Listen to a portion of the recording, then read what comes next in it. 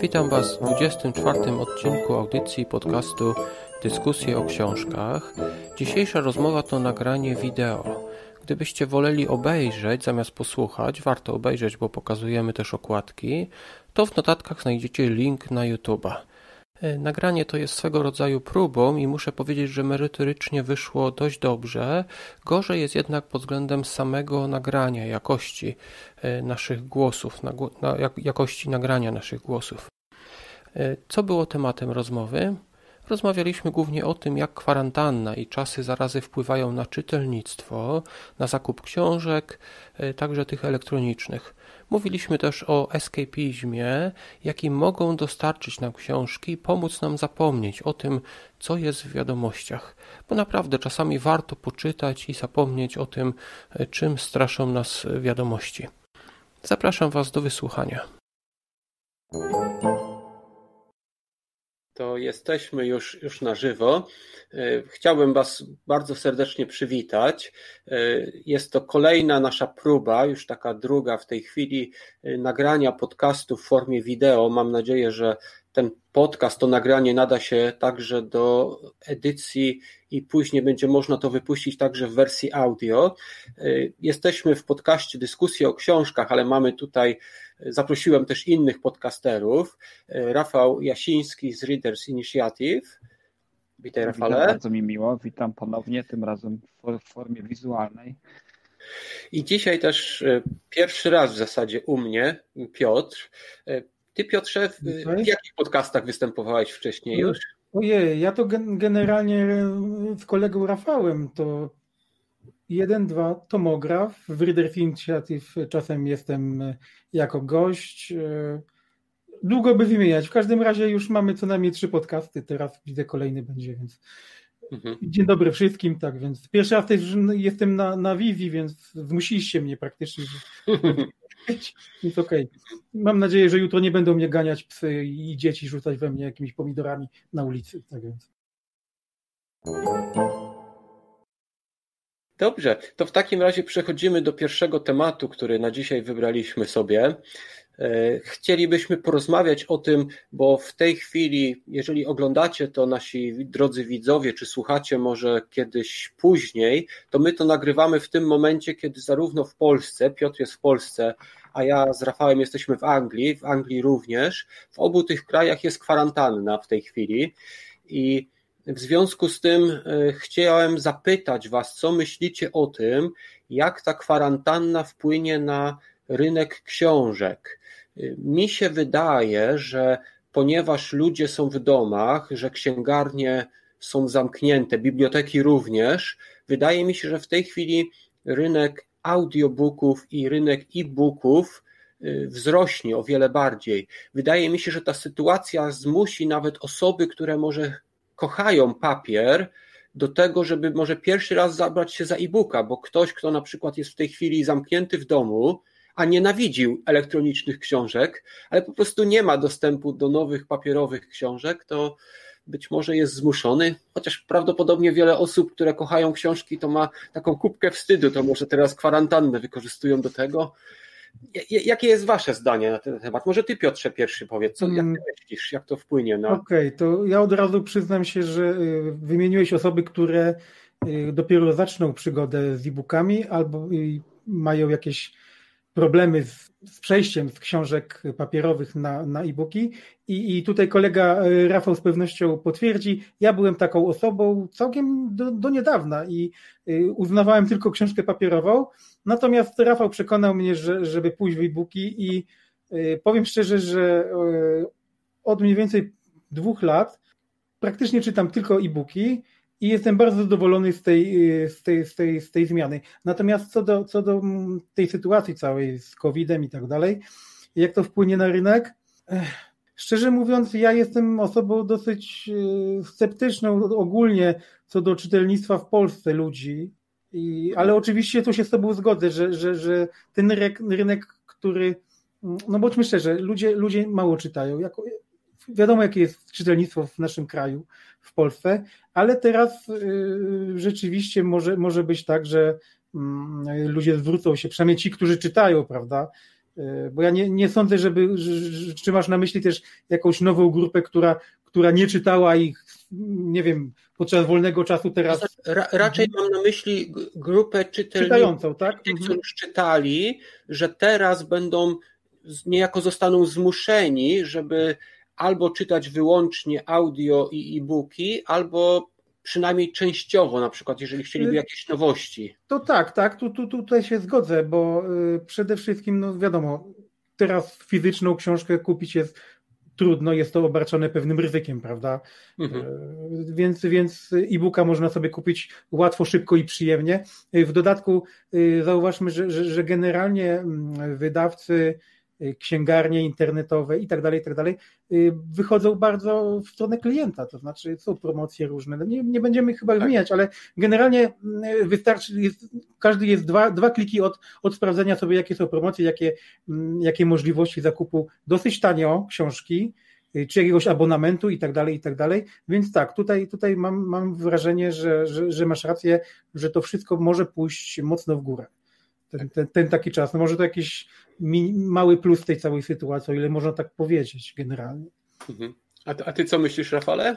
Znaczy jest już, są już pierwsze dane na temat tego, jak rynek księgarski reaguje na to, co się dzieje e, w okresie kwarantanny, w okresie e, tych ciągle, zwłaszcza w Polsce, podnoszonych progów e, obostrzeń, tak, tego, co, co się dzieje w związku z tym jakie ruchy my jako, jako, jako hmm. konsumenci możemy podejmować, chcąc nabyć jakiekolwiek dobra, nie tylko książki, ale już rynek księgarski zareagował. Są już pierwsze informacje na temat tego, że y, najpopularniejsze księgarnie internetowe oferujące głównie w swojej, y, swoim katalogu e-booki i audiobooki zanotowały znaczny wzrost sprzedaży, nie tylko samych e-booków, ale również czytników.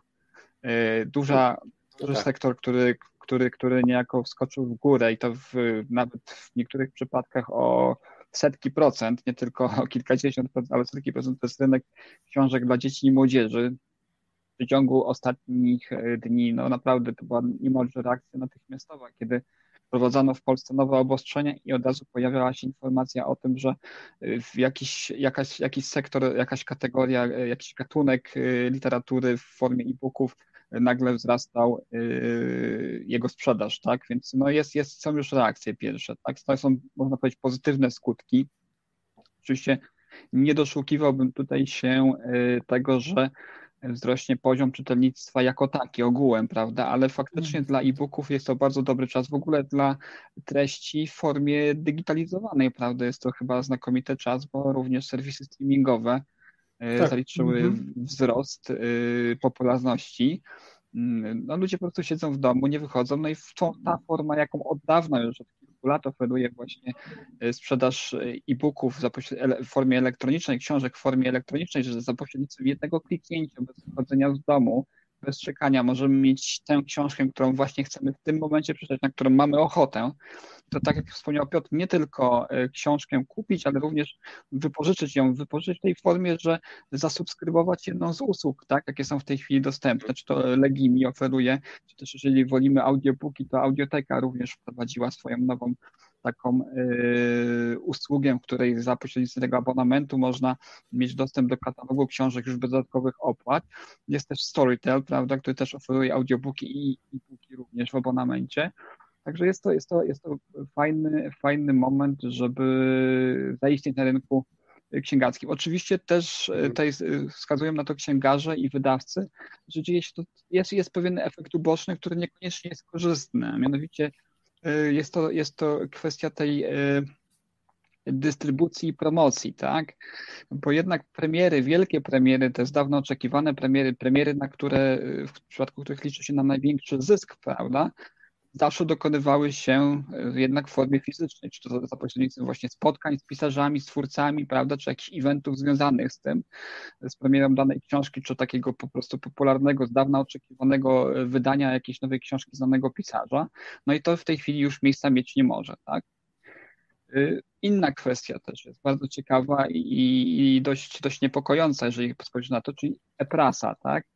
Takim dzisiaj symptomem, na który natrafiłem, jest na przykład wycofanie się wydawcy w, Angiels- w Anglii bardzo popularnego magazynu, jednego z wielu magazynów, podejrzewam, że niedługo innych magazynów to również dotknie, czyli Retro Gamer, który miał sporą rzeszę nabywców w Polsce. To jest taki magazyn, który właśnie opowiada o grach z minionych epok, prawda, od, od czasów 8 bitów i wcześniejszych poprzez te właśnie czasy konsol, y, PlayStation, etc., etc., długo by to wymieniać, oni nagle okazuje się, że wstrzymali wysyłkę swoich magazynów w formie papierowej mm. poza granicę Wielkiej Brytanii, tak?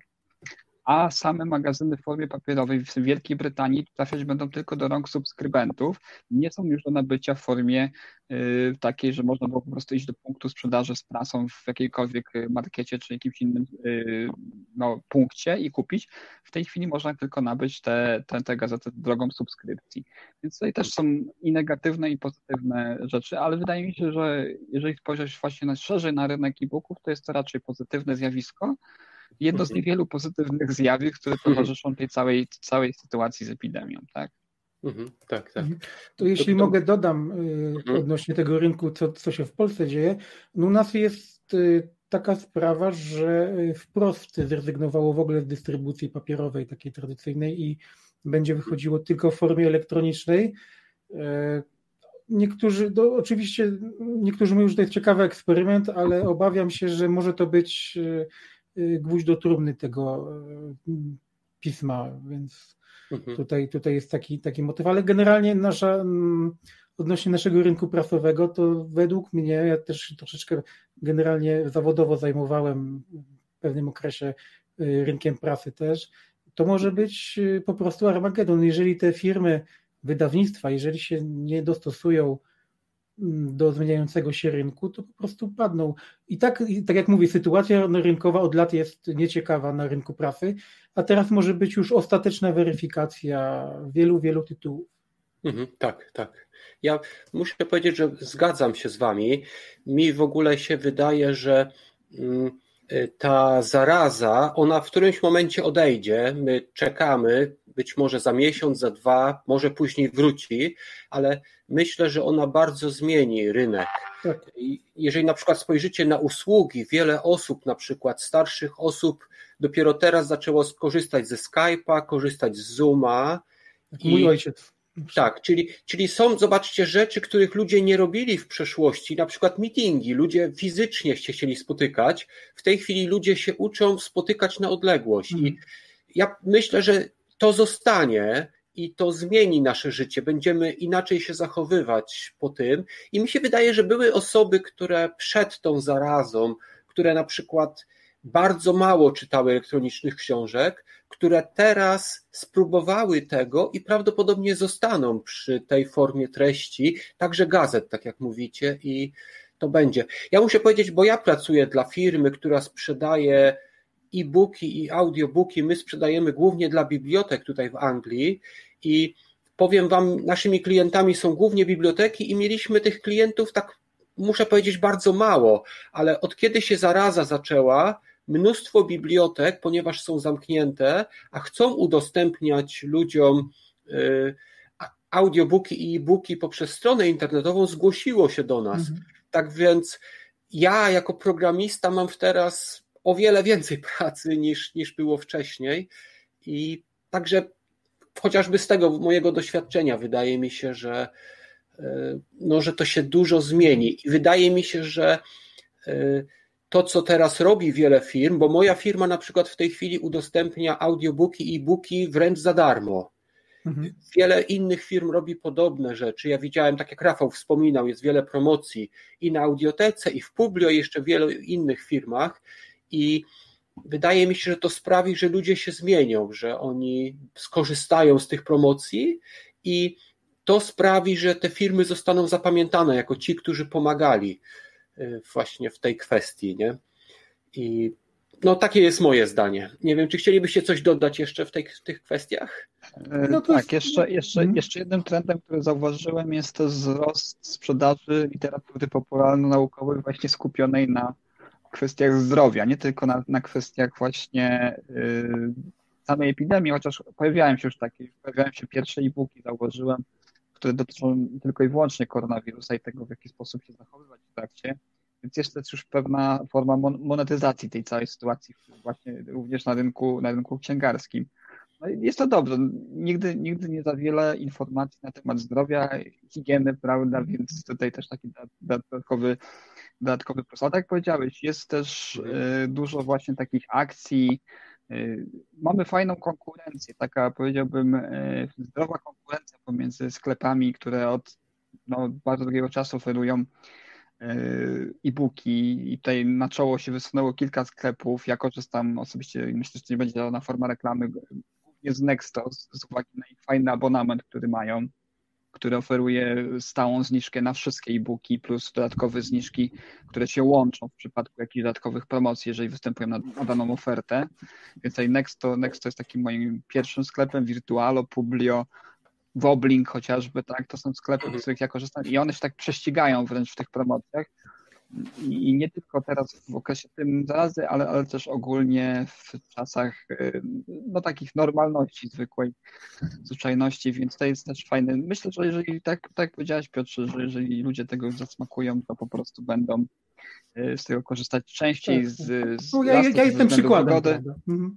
A ja mam do Was pytanie, bo odnośnie rynku właśnie w Wielkiej Brytanii, bo chodzi mi o to, że od czasu wybuchu tej zarazy, kiedy przynajmniej w Polsce rząd kazał zostać w domu ludziom, y, jak to wygląda w Wielkiej Brytanii odnośnie, odnośnie mm, nie wiem, właśnie promowania czytelnictwa i tak dalej, bo y, ja tutaj muszę niestety z, powiedzieć, że w, u nas ja więcej widziałem jakieś ludzi, którzy polecają zostać w domu i grać w gry komputerowe, oglądać y, streamingowe serwisy Netflixa y, i tak dalej, i tak dalej, niż sięgnąć po książkę. Nie wiem, być może, być może ja y, wybiórczo telewizję oglądam, chociaż na ogół mam teraz, szczególnie teraz włączony cały czas telewizor na kanały informacyjne i naprawdę nie zauważyłem nikogo, który by wprost powiedział ludzie czytajcie książki, za to widzę grajcie w gry komputerowe, czego nie jestem y, przeciwnikiem, bo, bo sam z tą branżą się też zajmuję,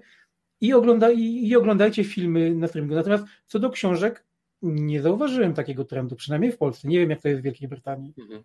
Ja na przykład, ja ostatnio rozmawiałem ze znajomymi o podcastach, bo ja jestem podcasterem i dyskutowaliśmy na temat tego, czy teraz ludzie, jak siedzą w domach, więcej słuchają, czy mniej. I powiem Ci, ja doszedłem do takiego wniosku, że jeżeli chodzi o podcasty na przykład, pewnie też audiobooki, wydaje mi się, że ludzie mniej słuchają.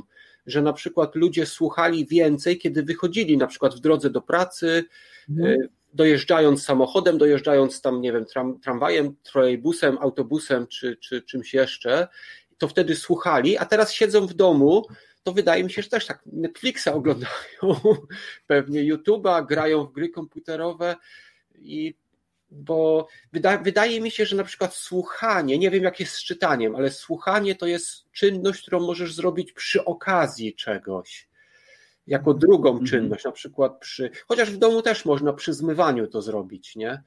Ale no, ja dużo zmywania chodzi. Ja nie spotkałem się tutaj w Anglii, żeby ktoś promował czytelnictwo w tej chwili. A ty, Rafale? Że promując jako tako y, czytelnictwo i literaturę w takiej formie, w jakiej my na przykład teraz, prawda, rozmawiamy o książkach, bardzo dużo pojawiło się różnego rodzaju nagrań y, online, gdzie ludzie czytają książki, czytają fragmenty książek, czytają też dzieciom chociażby. Te szkoły w naszym regionie się bardzo uaktywniły w Northampton. Ja widzę, że, że się pojawiają właśnie mhm. akcje, w których nauczyciele czytają dzieciom książki. Także jest, jest taka jakaś fajna, spontaniczna, bardzo ciepła akcja, gdzie faktycznie pokazuje się to piękne literatury, no niekoniecznie wskazując na to, żeby sięgać po książki, sięgać po e-booki, ale pokazując to po prostu y, próbując dać taką, tak jak tutaj Piotr wspomniał z, Polski, jakąś alternatywę do tych pozostałych rzeczy, tak, siedzenia przed e, telewizorem, czy, czy siedzenia przy grach komputerowych, wskazując na to, że można też e, zająć ten czas dzieci właśnie pokazując to, jak piękna jest kultura, literatura. Mhm, tak. No, ja jedyną taką promocję, jaką ja znam, to jest ta mojej firmy i bibliotek angielskich, że w tej chwili wiele bibliotek udostępnia książki elektroniczne za darmo, bo tutaj w Anglii, jeżeli ty wypożyczasz audiobooka albo e-booka, to bardzo często płaci się. To nie jest duża suma, tam jest, nie wiem, za jednego audiobooka tam 50p albo jednego funta, ale to płacisz, nie, przy wypożyczeniu, a w tej chwili po prostu jest, biblioteki dają to za darmo ludziom, więc na pewno jest to jakaś promocja. W Polsce pewnie, nie wiem, czy można w Polsce pożyczyć audiobooki i e-booki? Mm, nie, raczej tylko na pośrednictwem sklepów chyba są, są takie hmm. akcje, tak. Natomiast raczej, sporo, raczej jest tylko... sporo promocji cenowych, więc takich, które naprawdę, naprawdę y, można kupić, można się nachapać książkowo naprawdę na różnych y, promocjach, wyprzedażach. Więc tak jak powiedziałem wcześniej, tutaj wyszli do klienta z ofertą naprawdę bardzo, bardzo przyzwoitą. Wystarczy wejść na Google, wpisać i, i można książek nakupić naprawdę, naprawdę masę, więc mhm. pod tym względem jestem bardzo zadowolony. Ja osobiście na przykład. E, teraz mamy, o właśnie, mamy już pierwszy komentarz. Podczas nagrania wideo oglądający live'a mogą komentować i my dostaliśmy właśnie taki komentarz. Przeczytam go teraz. Mateusz Majewski napisał: Co chciałem, to przeczytałem. Teraz nie ma nic, co mnie interesuje, to nie czytam. Słaba wymówka? To jest pytanie, i na koniec mam jeszcze taki uśmieszek. Co myślicie o tym? Zawsze jest Aha, coś no tak. do czytania. Zawsze coś można znaleźć. Zawsze jest do czytania, tak. Ja, ja zawsze powtarzam, że może, może y, dobrych filmów zabraknąć, y, in, innych y, produktów popkultury może dobrych zabraknąć, ale dobrej książki nie zabraknie, bo mhm. od, od początku dziejów powstało tyle dobrej literatury, że naprawdę no, tak. by było żyć co najmniej 10 razy, żeby móc chociaż połowę tego poznać. Ja jak ten, ja jak nie mam co czytać, to cofam się do klasyki i odkrywam, dlaczego to jest klasyka, że to są książki, które tak. są zawsze dobre i tak więc jak nie ma czego czytać, to dobrze właśnie cofnąć się i zobaczyć, co w przeszłości. To dowodem było. tego jest to co, to, co często y, uskuteczniamy z Piotrem y, w dyskusjach o książkach, gdzie sięgamy właśnie po, po klasyki. I jeżeli ktoś y, widzi nas dzisiaj po raz pierwszy i słucha po raz pierwszy, to serdecznie odsyłamy. Tam mamy i cykl o noblistach, nie tylko polskiej literaturze, Przeminęło z wiatrem, Wielki Gatsby, Literatura ma coś w sobie takiego, że gdzieś tam na którymś etapie życia jest nam wpajana i wtedy naj, najczęściej nie przyjmujemy jej, tak? To jest to, reagujemy ze wstrętem albo ze niezrozumieniem na tego typu yy, przymus, literaturę i w ten sposób jej poznawanie. Natomiast kiedyś, później sięgając właśnie na odpowiednim etapie życia, o czym też bardzo często powtarzamy w, w nagraniach, że poznanie pewnej literatury no, wymaga jednak doświadczenia życiowego jakiegoś i w różny sposób reagujemy na różnych etapach na pewne książki, tak? Jeżeli na którymś etapie odrzucimy ją, bo nie jesteśmy na to gotowi, to warto wrócić właśnie do, do dobrej literatury. Mhm, tak. Sami się o tym przekonaliśmy w ostatnim czasie, prawda? Dokładnie. Dobrze, to słuchajcie, to może przejdziemy teraz do książek, o których chcieliśmy Wam opowiedzieć. Może ja zacznę. Ja, e, jak pewnie wielokrotnie wiecie, bo wielokrotnie o tym wspominałem, e, moim ulubionym autorem jest Richard Ćwirlej. E, mam jego książkę przygotowaną tutaj. Milczenie jest srebrem. Jest to dosyć stara książka. Ona opowiada o faktycznej rzeczy, która się wydarzyła w Polsce. Chodzi o kradzież srebrnej, srebrnego posągu świętego Wojciecha z katedry w Gnieźnie. I e, śledztwo tutaj biorą udział e, milicjanci z Poznania. To jest cała seria właśnie o tak. milicjantach z Poznania. Ja ją uwielbiam i e, zawsze żałuję, że bardzo mało audiobooków zostało wydanych. Został wydany dawno temu jeden audiobook i całe szczęście teraz został wydany niedawno mm, drugi audiobook. Niestety to, to nie jest seria o tych milicjantach z Poznania, ale to jest jakby kontynuacja. E, Ostra jazda jest to już druga książka w serii o policjantach z Poznania, czyli zmienił się świat, nie ma już PRL-u, milicjanci stali się policjantami i przybyła pewna dziewczyna, młoda policjantka, która w pierwszym tomie i teraz w tym drugim jest taką główną bohaterką i na szczęście można posłuchać sobie tej książki i ja sobie słucham. Lektor bardzo fajny jest, bo to jest książka, która się dzieje w Poznaniu i pojawiają się słówka z gwary poznańskiej i lektor też momentami zaciąga po poznańsku, co mi się bardzo podobało. Tak więc ja polecam Ryszarda Ćwirleja wszystkim tym, którzy lubią powieści kryminalne, takie troszeczkę z humorem, szczególnie ludziom, którzy lubią e, nie wiem, miejscowość Poznań i okolice, bo to się w Poznaniu w okolicy dzieje i ci, co lubią audiobooki, to także polecam te książki dla tych, którzy może lubią gwarę poznańską. Jeszcze, Bo... jeszcze jedno, jedno tym, który, którzy mają jakąś e, nieprzypartą nostalgię za, za czasami PRL-u, bo, bo też akcja książek właśnie Cileja osadzona jest w specyficznym okresie. To jest milicja przede wszystkim, tak, zdaje tak. się, prawda?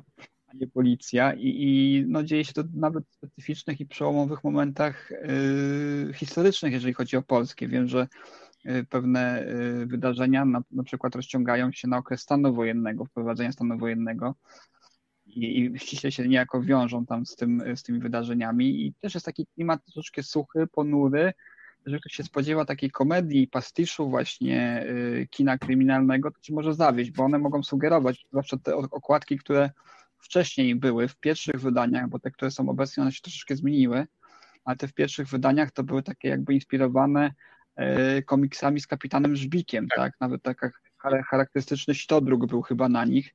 W tej chwili to y, troszeczkę się zmieniło. Już, już nie ma tej takiej nostalgicznego odwołania właśnie do, do komiksów z tego okresu, ale, ale jednak no jest to dość specyficzny klimat, dość, dość specyficzna yy, proza i specyficzny kryminał, aczkolwiek też będąc dobrym kryminałem, bo tam są intrygi interesujące, tak? Chociaż mhm. okres jest inny, no i też wiadomo, że ci detektywi działali w ramach innych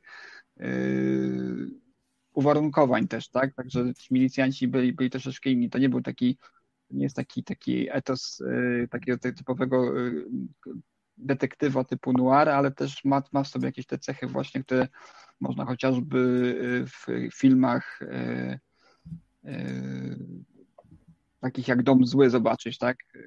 Gdzie też jest mhm. wątek policyjny, czy, czy, czy w innych tak. właśnie filmach. Chociaż mówię, ta, ta, nowa seria, ta nowa seria to już jest o policjantach. Są, dalej tak, tak występują tak, sami bohaterowie, ale to już jest. E, po, po przemianie. Tak. Ta ostra jazda jest, jest o tyle ciekawa, że to jest e, moment, kiedy e, w Polsce przejmuje władzę PiS i to jest związane troszeczkę z tymi przemianami, które wtedy się działy mam takie wrażenie, że ta książka może się nie podobać tym, którzy głosowali na PiS, bo nie jest tu wprawdzie wymienione e, partia z nazwy, ale myślę, że daje, wydaje, że daje się domyślić, jakie są preferencje polityczne autora. I no Także książkę polecałbym wszystkim, może, może z wyjątkiem właśnie wyborców PiSu, bo wydaje mi się, że mogłoby im się nie spodobać to, jak autor przedstawił e, to, co tam się dzieje w tym, tych, tą, tą partię właśnie w ten sposób, nie? Dobrze, to tyle może na temat tej książki. Ty, Rafale, chciałeś powiedzieć o, o książce mm, Na południe od Brasos, tak? Tak, ja już opowiadałem o niej, mieliśmy specjalny odcinek właśnie poświęcony y, literaturze westernowej, jako że ja i, i Piotr z Polski no, jesteśmy fanami westernu książkowego, od Dokładnie. czasów właśnie Karola Maja i jeszcze innych polskich pisarzy. Mieliśmy też o Wiesławiu Wiernicu specjalny odcinek polskim, e, nazwanym niesłusznie polskim Karolem Majem, a dzisiaj na południe od Brazos. Jeszcze raz wrócę do tej książki. Ja opowiadałem o tym, że całkiem niedawno zostało, została ta książka wznowiona po tym okresie przez wydawnictwo Vesper. Tutaj poprzedniej naszej rozmowie wideo mówiłem o tym, że Vesper specjalizuje się we wznowieniach rzeczy, których nikt inny nie wznawia, które mają jakąś wartość sentymentalną dla takiego dość wąskiego grona odbiorców. No i właśnie jest, takie, jest, taka, jest takim, taką książką właśnie na południe od Brazos. To jest zakładeczka, która jest też dołączona do książki, także do wartość dodana. Natomiast taki mi, miły akcent. Zresztą Vesper dołącza takie tematyczne zakładeczki związane właśnie z daną książką do każdego z, z, z nowych wydań. Także niedawno czytałem właśnie Obcego, adaptację właśnie yy, też i też zakładeczka była. Upiorna opowieść Petera Strauba wyszła też zakładeczka. To taka oczywiście dodatek, bo sama książka wygląda tak, to jest wznowienie. Mhm. Jest jak, jak widzimy gruba. Wow. Jest, jest to taka ultimatywna historia właśnie y, końca tego etosu Dzikiego Zachodu. Czyli ostatnie, ostatnie legendy odchodzą do legendy, coraz, coraz mocniejsza e, industrializacja, nowoczesność wstępuje właśnie, wbija się w dziki zachód, ale są jeszcze te przyczółki, gdzie, gdzie to, to życie, gdzie, gdzie ten mit dzikiego zachodu trwa. No i tu mamy właśnie takie postaci, które są niejako są posągami, ostatnimi takimi dinozaurami żyjącymi e, właśnie w dzikim zachodzie. No i literatura piękna, naprawdę wspaniała pod wieloma względami, pod względem tego, w jaki sposób tutaj Larry McMurtry, bo to autor snuje tę opowieść, tak, to jest taka gawenda, wspaniale zbudowane postaci, prawda, które w filmie z 1989 roku, właściwie miniserialu sportretowali Tommy Lee Jones i Robert Duvall, także też jest, jest też serial y, świetny z tym związany. Y, to też wiąże się troszeczkę z tą książką, ponieważ ona oprócz tego, że oczywiście jest fajne wydanie, jak, jak widać twarda oprawa, grzbiet, ładne wydanie, to ono jest jeszcze wzbogacone o y, fotosy z tego serialu. Tutaj na samym końcu można sobie obejrzeć, ale nie tylko fotosy w serialu, bo są też mapki i są też zdjęcia z tej, z tej epoki też, tak? Zdjęcia opisujące, które, które tutaj w jakiś sposób ilustrują nam to, i, i postaci, i wydarzenia, które tutaj się rozgrywają na kartach książki. Także też taka dodatkowa wartość. Tak jak wspomniałem na samym początku, o tej foto, foto z filmu Robert Duvall w jednej z głównych ról. Mhm. Jest to na pewno naprawdę książka, która y, każdego fana y, westernu zachwyci, musi, musi się znaleźć na, na, na półce każdego fana westernu. To jest, Biblia dla każdego fana westernu. To jest mhm. wszystko, co jest związane z westernem. I, i, i są Indianie oczywiście, mhm. i są y, kowboje. Y, czy te, ten McCarthy, który jest autorem tej książki, czy on ma coś wspólnego nie, to jest Larry, Larry, Larry, nie, nie, to jest Larry McMarty. A, bo często, często to nie jest ten też jest, Tak, właśnie, właśnie to, jest, to jest ciekawe, bo mhm. McCarthy, o którym myślisz, to jest taki, to jest taki bardzo naturalistyczny dziki zachód pokazuje, taki surowy, brutalny, prawda, nie oszczędza czytelnika. Natomiast tu jest tak, taka powiedzmy literatura pogranicza, o, można powiedzieć, gdzie ten naturalizm spotyka się jeszcze z tym takim troszeczkę mitem, tak, takim mitem tych wspaniałych y, bohaterów Dzikiego Zachodu, prawda, ale odchodzących w przeszłość, tak. Także jest dużo, dużo takiego, takiej troszeczkę powiedziałbym, y, surowości w tej książce, ale też poetyki takiej, y, no właśnie westernowej, no ale już McCarthy odchodzi już od tego, on już taki bardzo surowy, on pokazuje tak jak było prawdopodobnie naprawdę. Mhm. Tu jeszcze jest ta taka otoczka, tu jeszcze jest troszeczkę tego nimbu, mimo że już właśnie przechodzimy przez tę granicę, gdzie spotyka się właśnie ten etos legendy Dzikiego Zachodu, spotyka się z tym, co naprawdę mogło się wówczas dziać, ale jeszcze jest ta taka ulotna wartość tutaj tego, tego, tego marzenia o Dzikim Zachodzie, wyobrażenia Dzikiego Zachodu. Mhm. Dokładnie. Więc tak, polecam zdecydowanie. Polecam całe wydawnictwo Vesper. Myślę, że jeszcze nie raz przy naszych spotkaniach będę pokazywał coś od nich, bo naprawdę to jest takie wydawnictwo, które ma się wrażenie, że jest prowadzone przez fanów dla fanów. Tak?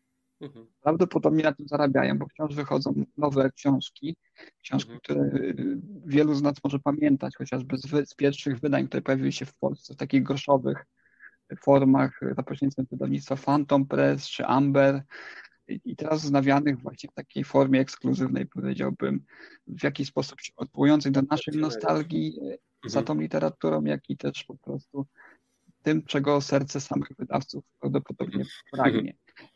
Jedną z takich książek jest właśnie Twierdza Petera Wilsona, która też się, którą też chcemy omówić niebawem na antenie podcastu i też niebawem zostanie wznowiona przez przez y, właśnie Vesper, a też pierwotnie ukazała się nakładem wydawnictwa Phantom Press. Dobra. To pozostając w temacie Dzikiego Zachodu, ty Piotrze też chciałeś omówić jedną książkę dotyczącą właśnie tego tematu. Tak, tak, bo przed nagraniem się zorientowaliśmy z Rafałem, że tematyka podobna. Y, hmm? Ja będę mówił o książce Jak zdobyto Dziki Zachód, prawdziwa historia amerykańskiego pogranicza y, autorstwa Jarosława Wojtczaka. Y, tak jak już Rafał wspomniał kilka minut y, temu, ja jestem generalnie wielkim fanem Dzikiego Zachodu i to od dziecka. Ja kochałem y, Karola Maja i czytanie przygód Winetu i Shatterhanda to było dla mnie coś, coś niesamowitego. Tak samo filmy, w ogóle mm, jest to dla mnie coś po prostu oprócz literatury fantazy to moim takim drugim konikiem i moją taką drugą miłością książkową i nie tylko, bo także filmy, całe, całe szerokie, szerokie spektrum kultury popularnej, to jest właśnie, właśnie Dziki Zachód i ten mit Dzikiego Zachodu, mhm. który, który tak naprawdę w rzeczywistości, znaczy tutaj to już nie będziemy się zagłębiać w szczegóły, generalnie nie istniał jako, jako, y, jako coś prawdziwego, tylko tak jak mówię, jest to mit po prostu Dzikiego Zachodu i ta książka generalnie bardzo ładnie pokazuje y, genezę powstania tego mitu y, od strony historycznej, to znaczy mamy, mamy coś takiego, że ta książka rozpoczyna się od na przykład, teraz y, niech ja znajdę tutaj, mam sobie przygotowałem, bo to jest, to jest dosyć gruba książeczka mhm. i, i, ja może otworzę i pokażę od razu. Mm, mamy od, w ogóle początek jest od, o wyprawie y, Louisa i Clarka od, i od faktu zasiedlania mm, Ameryki Północnej, prawda, przez, przez osadników y, i następnie mamy o, mm, rozdział o pionierach Y, tamtych czasów. Y, na przykład, nie wiem, czy y, być może czytelnicy nasi słuchacze kojarzą kogoś takiego jak Zebulon Pike na przykład. Mamy tutaj cały, cały rozdział fascynujący o mm, sylwetce tego, tego, tego człowieka. Mamy też dosyć dosyć taką ciężki, ciężki temat odnośnie tego, jak potraktowani zostali Y, Indianie przez, przez białych osadników i przez y, wojska amerykańskie. Tak więc nie jest, to, nie jest to do końca taka y, lektura miła, łatwa i przyjemna, natomiast obejmuje całe, całe spektrum tematyczne i, i, tak jak mówię, nie jest to tylko opowieść o poszukiwaczach złota, mhm. rancherach, kołbojach, tak więc jest to, jest to naprawdę historycznie bardzo ładnie opracowane. Ja, tak jak mówię, ja się zajmuję tą tematyką od 10-15 y, lat, się fascynuję i w tej książce, bo jestem bardzo zawsze sceptycznie podchodzę do wszystkiego, nie znalazłem żadnych merytorycznych błędów. Mhm. Może niewiele to znaczy, bo nie jestem jakimś y, naukowcem pod tym względem, ale mm, generalnie całość jest pięknie, pięknie wydana. Są y, ilustracje, proszę bardzo. Mhm. Mamy ilustracje, świetne opisy. Pod względem językowym jest y, bardzo ładnie y, napisana ta książeczka, więc jest lekturą bardzo dobrą, fascynującą. Y, I ostatnie właśnie mm, rozdziały to jest rozprawienie się z tym mitem Dzikiego Zachodu, że to jednak nie było tak jak w rzeczywistości sobie możemy, wyobrażamy sobie po, po, po tym, co czytamy w książkach takich fabularnych, które mówił, o których tak. mówił przed chwilą kolega Rafał, albo w filmach i, i w innych dziełach kultury popularnej. Y, więc tak jak mówię, ja tą książkę bardzo, bardzo polecam. Y, ja ją zdobyłem, od razu powiem, y, bo ja często, często, często i gęsto szukam sobie książek w koszach różnych w sklepach. Może będzie widać, ta książka kosztowała zaledwie 14 zł 99 groszy w promocji, więc byłem bardzo, bardzo zadowolony, że ją, że ją zdobyłem. Ja ją oczywiście szukałem przede wszystkim w e-booku, ale Y, nie mogłem się oprzeć y, takiemu wydaniu w takiej cenie. Jeżeli ktoś y, lubi westerny, dziki zachód, to powinien się tą lekturą mocno zainteresować. Jest też, jest też dostępna w e-booku. Pisałem o niej jeszcze zanim kupiłeś to, ale gdzieś tam nie umknęło ci, ale jest, jest też w e-booku. Mhm. Znaczy, jeśli, jeśli jeszcze dwa, dwa słowa, jeszcze mam tylko jeden zarzut odnośnie tego wydania. O ile okładka jest bardzo, bardzo ładna, mhm. i bardzo porządnie wydana książka, to niestety papier y, jest jakości powiedzmy drugiej kategorii. Niestety jest y, tutaj oszczędzili, troszkę wydawca oszczędził, ale no trudno, no. Polecam. Tak. Ja tak sobie, jak mówiłeś o tym micie Dzikiego Zachodu, to wydaje mi się, że w Polsce my mamy taki mit tych kresów, na przykład trylogia Sienkiewicza, która też pokazuje te kresy jako takie mitologiczne miejsce, gdzie byli bohaterowie, mhm. a tak naprawdę z tą też różnie tam bywało. Ale i to jest, to jest ciekawe, że jak, jako młody człowiek, ja też się zaczytywałem i w Maju, i w Wernicu, i w wielu innych pisarzach, a potem, kiedy człowiek dowiaduje się, jak to naprawdę było, to ten mit zostaje później taki odarty. No ale na tym polega dorosłość, nie? że człowiek dowiaduje się, że bajki to bajki, A, życie, a życie swoją drogą, tak. Tak, życie A to też nic, nic nadal nie przeszkadza wrócić do tego, nie? Myśmy się tak. przekonali o tym, wracając do Wernica ostatnio, że, że jednak na jakimś tam poziomie, no tak jak czytamy fantastykę, tak, to co często Piotr z Polski wskazuje, że jest ta forma eskapizmu, tak, że mimo mhm. iż mamy za sobą lektury takie o brutalnym y, Y, Dzikim Zachodzie, jak chociażby Patryka DeWitta, y, ostatnio niedawno czytana przeze mnie Bracia mhm. Sisters, którą też polecam, czy y, mhm. właśnie Cormaca McCarthy'ego, filmy, które, współczesne westerny, które też brutalizują Dziki Zachód, prawda? To jednak nic tam nie stoi na przeszkodzie, żeby wrócić właśnie do tego okresu tej, tego bardziej powiedzmy wy, wy, wyimaginowanego mhm. wyobraźni, prawda? Niż tego prawdziwego, tak? To, no to, to, jest, to jest to coś, coś to w tym wszystkim jest. Znaczy, generalnie mm, literatury westernu i science fiction wiele, wiele łączy. To, o to możemy kiedyś nagrać osobny wręcz y, podcast, prawda? Że tak. Mhm. I właśnie, bo Rafał wymienił takie ciekawe słowo escapism i taka ostatnia rzecz, co chciałem was zapytać dzisiaj właśnie, y, bo wiele osób prawdopodobnie chciałoby uciec od tego, co się dzieje na świecie, bo kiedy się non-stop ogląda te wiadomości i słyszy się o kolejnych osobach, które umarły danego dnia, to naprawdę może przygnębić i czasami no jest potrzebny taki escapizm w postaci dobrej książki. Co byście szczególnie polecali, bo tak się podśmiechiwaliśmy trochę przed nagraniem że Decameron albo tak, i Dżuma. Ale nie wiem, czy to się nadaje na escapizm w czasach zarazy. Ale y, tutaj też właśnie odnośnie, odnośnie tego, co mówiliśmy wcześniej, że rośnie sprzedaż książek chociażby Miłości w czasach zarazy, rośnie sprzedaż Bastionu Stephena Kinga, który niedawno przeprosił gdzieś tam na swoich prywatnych kanałach. Tak, że, żyjemy, że... że żyjemy w jego uniwersum. Tak, tak przeprosił nas, że, że, że ta rzeczywistość, w której się teraz znaleźliśmy, może przypominać tę, którą opisał Pasjonie kilkadziesiąt już chyba lat temu. Mhm. Y, ale rośnie sprzedaż takich książek. To jest właśnie ciekawe, że, że ludzie jakby sięgają po te książki, to jest taki swoisty rodzaj eskapizmu połączony z masochizmem jednocześnie, tak?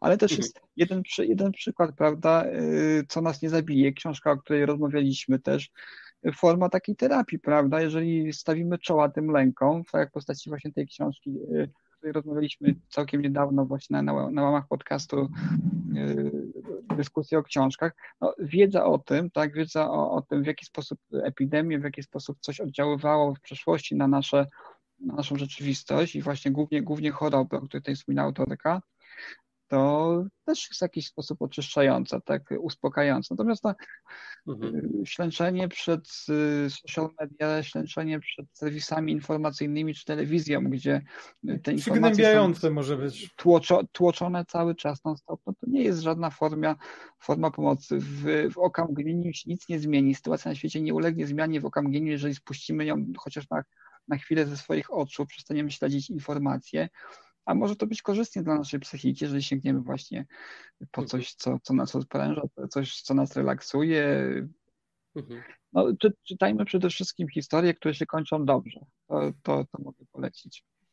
E, a, a, ty, Piotrze, co polecasz na czasy zarazy? No ja właśnie, właśnie sobie wziąłem y, Kindle i stwierdziłem, że warto w tym momencie, bo mm, na początku naszej rozmowy wspominaliśmy o tym, że e, ludzie właśnie teraz oglądają dużo serwisów streamingowych i tak dalej, więc ja tak troszkę tematycznie mm, to połączę, bo mm, w jednym z serwisów w HBO Go pojawił się serial, rewelacyjny zresztą, Spisek przeciwko Ameryce, y, na podstawie książki y, o tym samym tytule y, autorstwa Filipa Rota i jednocześnie oglądam serial i czytam książkę, i takie, taka kombinacja, polecam, polecam ją każdemu, to jest książka o alternatywnej historii Ameryki, nie będę tutaj spoilerował. Y, I moim zdaniem taka, mm, taki, taki, mm, taki dwugłos, bo książka różni się troszeczkę od, od, od, od serialu, więc y, to taki ciekawy dla mnie eksperyment, bo sobie jednocześnie symultanicznie oglądam i czytam, więc, więc, więc jeżeli ktoś y, ma tą książkę lub znajdzie sobie w e-booku, polecam kupić przeczytać książkę, obejrzeć serial. tytuł? Y, Spisek przeciwko Ameryce Filipa Rota. Mhm. Spisek przeciwko Ameryce. Muszę zobaczyć. Książka Mi bardzo dobra. Bardzo... apokaliptyczne. Nie wiem, może ja jestem trochę dziwny, ale na przykład w tym momencie czytam tego ostatniego policjanta. To jest świat, gdzie hmm. jest historia kryminalna w czasach, kiedy za sześć miesięcy uderzy w Ziemię meteoryt, ludzie zaczynają się zachowywać e, trochę inaczej. I mm, teraz też mam, tutaj mam książkę, nie wiem czy widać, tam z tyłu jest siedem tomów, nie wiem czy czytaliście kiedyś Jutro. To jest historia y, nastolatków, którzy tworzą ruch oporu w momencie, kiedy Chiny zdobywają Australię. Chińczycy robią inwazję na Australię, a taka grupa nastolatków y, jest na takim obozie i kiedy wraca, okazuje się, że nie ma już Australii, że są Chiny. w Australii. Pierwszy, pierwszy, pierwszy tom został nagrany w postaci filmu. Nie wiem, może film widzieliście, Tomorrow. Coś, coś właśnie, tak, tak. Nie, nie, nie widziałem.